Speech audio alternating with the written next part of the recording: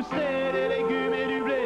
Et tant qu'il y aura, Vivagère il y aura des familles entières qui ne demanderont qu'à se régaler. De pizza et de quiche, de pommes